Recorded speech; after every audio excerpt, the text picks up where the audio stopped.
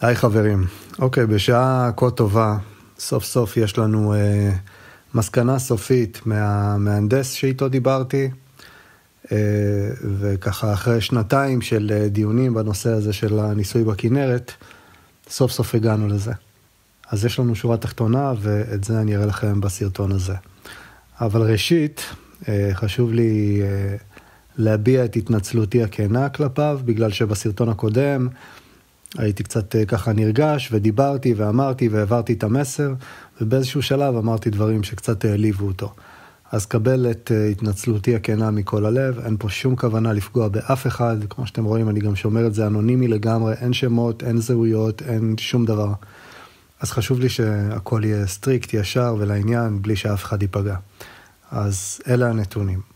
אז בשלב הזה ראוי גם להגיד שהוא התייעץ עם עוד חבר שהוא uh, תואר ראשון בפיזיקה ותואר שני בהנדסת חשמל, שהסתכל על התמונה בעצם של המראה המנצנצת, כשהמצלמה הייתה בגובה של 7 סנטימטרים מהמים, והוא זרק uh, שזה לא המרחק, זאת אומרת המרחק הוא לא 9.45 קילומטר, אלא הרבה פחות, בערך 3 קילומטרים. וזה מה שהוא אמר. והחבר המהנדס אה, לקח את זה גם כן ואימץ את זה אה, לשורותיו. אני לא תוקע פה נאץ ולא אומר שהוא מתחייב על זה, אני רק אומר שהוא הזכיר את הנושא.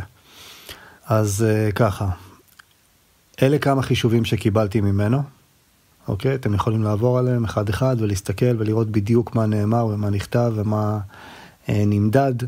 אם זה נכון או לא נכון, אני לא יודע, אני לא מביע דעה פה על שום דבר, אני רק משתף את הדיון בינינו, זה הכל.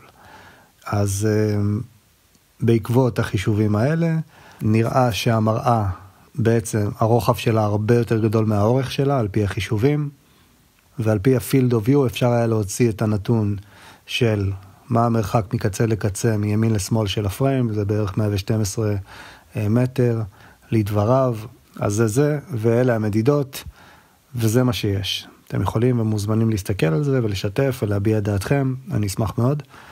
אמ, והמסקנה הסופית שלו היא שהצילום הזה נעשה מבערך שלושה קילומטרים בקירוב ולא מ-9.45 קילומטר.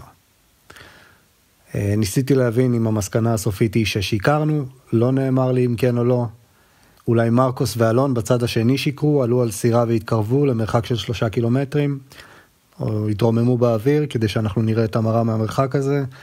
לא התקבלה שום שורה תחתונה חד משמעית. המסקנה היחידה היא שזה צולם ממרחק של שלושה קילומטרים ולא ממרחק של 9.45 קילומטר. וזהו, בזה נסגר הדיון שנמשך קרוב לשנתיים מאז שעשינו את הניסוי הזה, ואני שמח שסוף סוף סגרנו את זה ויש לנו מסקנה חד משמעית. אז לדעתו הצילום הזה לא נעשה ממרחק של 9.45 קילומטר, אלא ממרחק של 3 קילומטרים. אז אה, אלה כל הנתונים פרוסים לפניכם. אני שוב לא מביע דעה ולא נותן את דעותיי בנושא הזה. מבחינתי, אני מקבל אפילו את, ה, אה, את הטענה ששיקרנו, ונתקלתי בזה לא פעם, שאין לזה שום הסבר על המודל ההליוצנטרי פרט לזה ששיקרנו. זהו.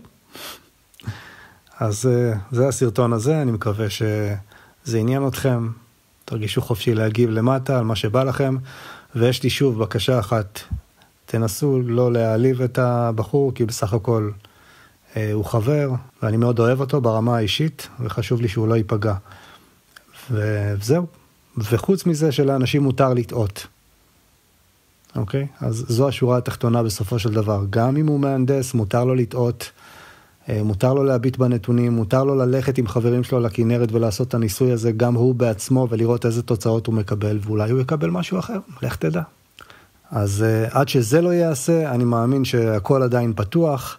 אז נכון לעכשיו ולעת הזאת, זו הייתה המסקנה הסופית, ועד כאן.